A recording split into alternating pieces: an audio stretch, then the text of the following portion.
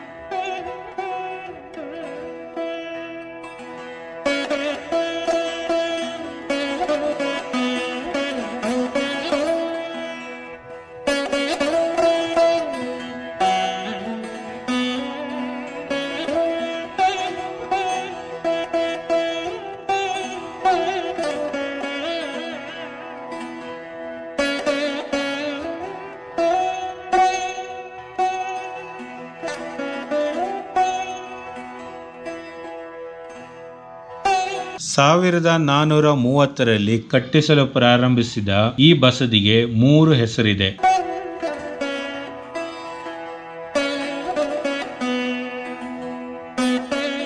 ಸದಾ ಹೊಸದರಂತೆ ಕಾಣುವುದರಿಂದ ಹೊಸ ಬಸದಿ ಸಾವಿರದ ಎಂಟು ಬಿಂಬಗಳಿದ್ದು, ಸಾವಿರಾರು ಕಂಬಗಳಿಂದ ನಿರ್ಮಾಣಗೊಂಡಿರುವುದರಿಂದ ಸಾವಿರ ಕಂಬದ ಬಸದಿ ಎಂದು ಚೂಡಾಮಣಿ ರತ್ನದಂತೆ ಮೆರೆಯುವುದರಿಂದ ತ್ರಿಭುವನ ತಿಲಕ ಚೂಡಾಮಣಿ ಬಸದಿ ಎಂದು ಚರಿತ್ರಕಾರರು ಹೆಸರಿಟ್ಟಿರುತ್ತಾರೆ.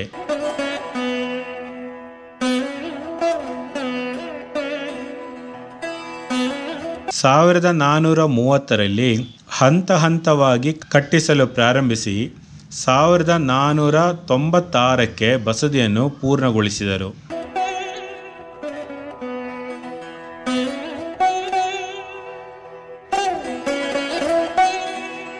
ಭೈರಾದೇವಿ ಮಂಟಪ, ಅದೊಂದು ಕಲೆಯ ಭಂಡಾರ.